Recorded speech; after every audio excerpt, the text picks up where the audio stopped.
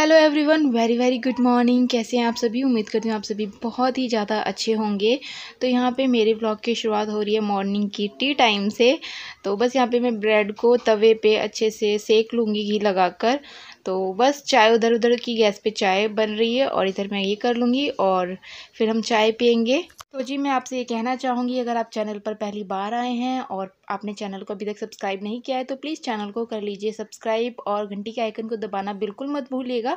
उससे आपको मेरी वीडियो के नोटिफिकेशन सबसे पहले आएँगे और साथ ही साथ अगर आपको वीडियो थोड़ी सी भी अच्छी लग रही है तो प्लीज़ वीडियो को लाइक कीजिएगा। अगर आप मुझे कमेंट करना चाहते हैं, कुछ सजेशन देना चाहते हैं तो आप नीचे कमेंट सेक्शन में लिख सकते हैं, मैं उसे इम्प्रूव करने की पूरी पूरी कोशिश करूँगी। तो बस यहाँ पर हमारे ब्रेड हैं, वो सिक्के तैयार हो चुके हैं। तो आ जाइए, आप भी चाय पीजिए। तो चाय पियेंगे आप और हम गर्मा गर्म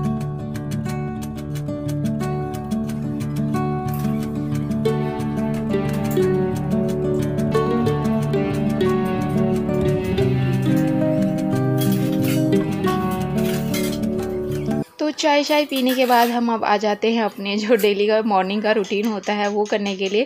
तो यहाँ पे मैंने कपड़े धोने के लिए मशीन लगा रखी थी तो कपड़े धुल रहे थे तो मैंने बेडशीट भी चेंज कर दी और दूसरी बेडशीट इस पर बिछा दूँगी।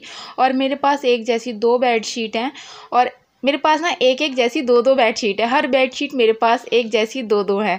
पता नहीं है बस, क्या करूँ? तो लोगों को लगता है कि यही बेड शीट है इसके पास। मेरे पास एक जैसी दो बेड शीट है, एक मेरे पास टेडी बियर वाली है, वो भी मेरे पास दो बेड शीट थी, जिसमें से एक मुझसे प्रेस से जल चुकी है तो अब एक ही बची है मेरे पास वो वाली बेडशीट। तो बस यहाँ बेड शीट लगा लूँगी और बाहर उधर मैं कपड़े भी साथ के साथ वॉश करती रहूँगी।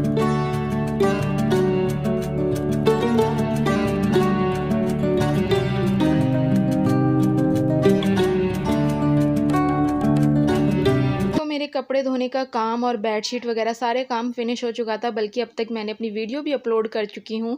और अगर आपने नहीं देखी तो मेरे चैनल पर जाके देखिए और उसके बाद मैं दोपहर के खाने की तैयारी कर रही हूँ। आटा वगैरह मैं सुबह ही लगा के रख देती हूँ और उधर मैं सब्ज़ी गर्म कर रही हूँ और क्या कहते हैं, इधर मैं रोटी बना लूँगी। तो आप भी आ जाए गर्मा गर्म खाना खाएँगे हर वीडियो में कहती हूँ चाय पियेंगे आप और हम गर्मा गर्म खाना खा लीजिए। तो ऐसा नहीं हो सकता कि अब मैं कहूँ और आपके मुँह में खाना पहुँच जाए आपके पास चाय पहुँच जाए पर ना जब मैं आपको बोलती हूँ तो मुझे लगता है कि हाँ आप लोग पी रहे होंगे या मुझे अच्छा लगता है आप लोगों से ये बात बोलना।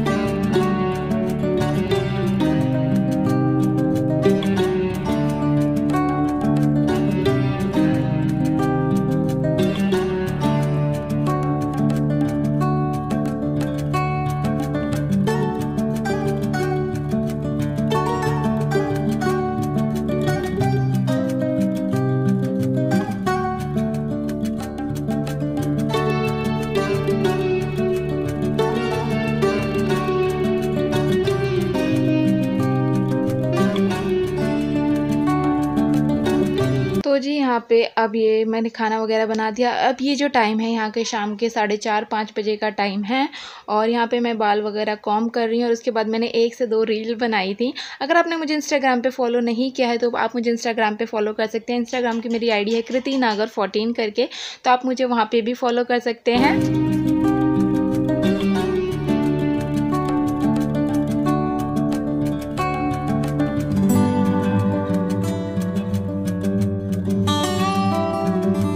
थोड़ी बहुत रील बनाने के बाद अब हम आ जाते हैं किचन में अपने रात के खाने की तैयारी करने, क्योंकि उसके बाद मैं थोड़ी देर के लिए इवनिंग वॉक छत पे जाती हूँ घूमने के लिए। और यहाँ पे मैं बनाने वाली हूँ आलू की सूखी सी सब्ज़ी। तो बस उसी के लिए आलू वगैरह कट कर लूँगी, टमाटर और प्याज वगैरह भी कट कर लूँगी।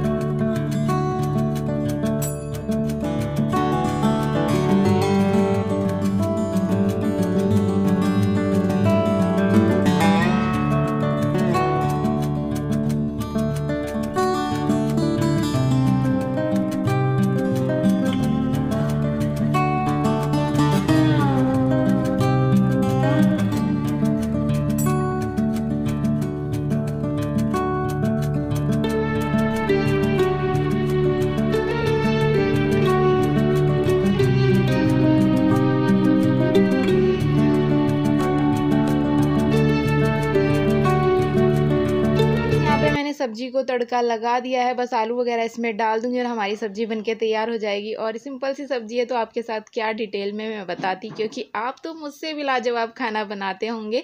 तो आप मुझे कमेंट करके बताइए कि मैं अपने व्लॉग्स में और क्या क्या इंक्लूड करूँ क्योंकि आप जब कमेंट करते हैं मुझे सजेशन देते हैं ना तो, तो मुझे बहुत ही ज़्यादा अच्छा लगता है।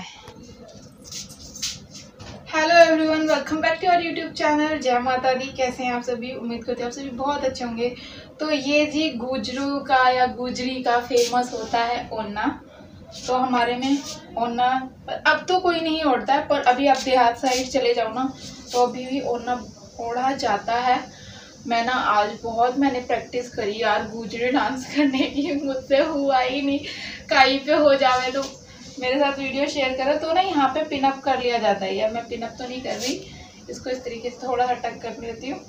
और इस तरीके से ये हमारे गुजरियों में होता है, गुजर में होता है। क्या बोल रही पता नहीं मैं। आप समझ जाओ बस ओना इस तरीके से ओढ़ती हैं गुजरी ओना और उनके अंगूठे ज़्यादा चलते हैं, गुजरी डांस में करते करते और एक पैर कुछ ज़्यादा चलता है। तो मुझे बिल्कुल भी गुजरी डांस नहीं आता, बिल्कुल भी नहीं आता है। एक्चुअली मुझे डांस आता ही नहीं है। बस थोड़ा बहुत, जैसे शादी ब्याह में होता है ना तो फ्रेंड्स वगैरह या जो फ्रेंड मतलब कज़न सिस्टर होती हैं, उन सबके साथ थोड़ा बहुत मटक लो तो हो गया डांस। जी, मुझे नहीं आता। तो ये है हमारा ओना। और आपको हर गुजरी के पास एक आधा ओना तो मिल ही जाएगा। कैसी लग रही है वैसे? मैं ओनने में कमेंट करके ज़रूर बताइएगा। पहली बार ओढ़ा है मैंने ऑन कैमरा ओनना मतलब ब्लॉग में मैंने अपनी हाँ एक उसमें रील्स में भी मैंने ओढ़ ओन ओढ़ना अरे क्या है वो? कुछ ऐसे करके सॉन्ग है।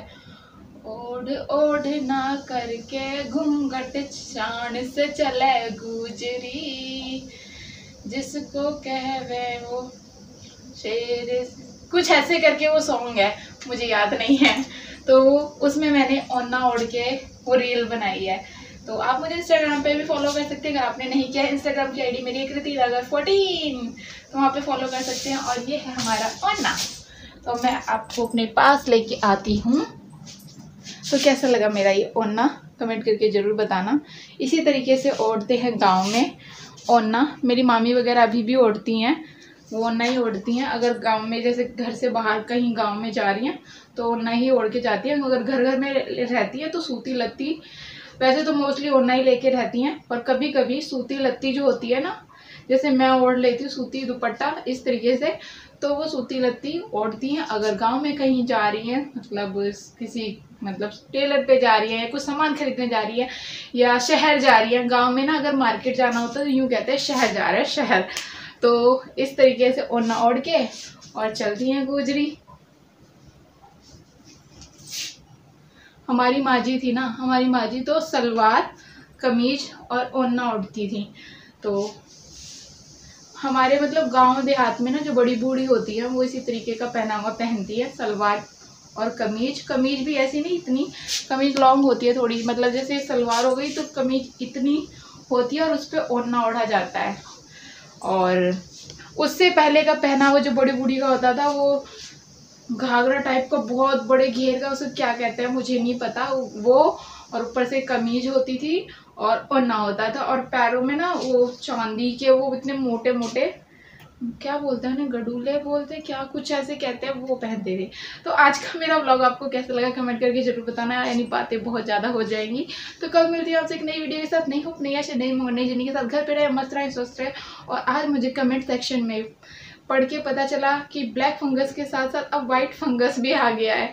तो ये शॉकिंग है मेरे लिए। अब पता नहीं और क्या क्या आना बाकी है भैया। प्रलय आ गई है, प्रलय। तो घर में रहे सेफ़ रहें। बाय थैंक्स फॉर वॉचिंग जय माता दी।